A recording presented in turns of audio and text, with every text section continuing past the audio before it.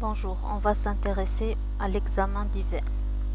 Les veines que l'on peut observer lors de l'examen clinique sont des veines superficielles de la grande circulation. On examine euh, les veines du cou. Elles doivent être examinées sur le trajet en décubitus dorsal, la tête et le haut du tronc légèrement soulevés. À l'état normal, la jugulaire externe n'est que modérément gonflée et se voit bien chez le sujet au tégument peu épais, ce qui est le cas de notre patient.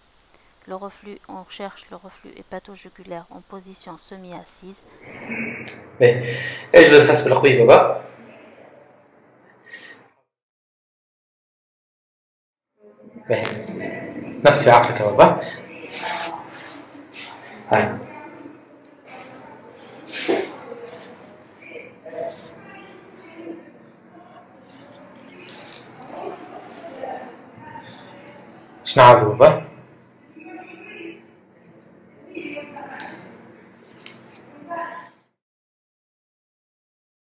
On s'intéresse par la suite à l'examen des veines des membres inférieurs. Il comprend l'appréciation de l'état veineux par l'inspection et la recherche de signes d'insuffisance veineuse chronique.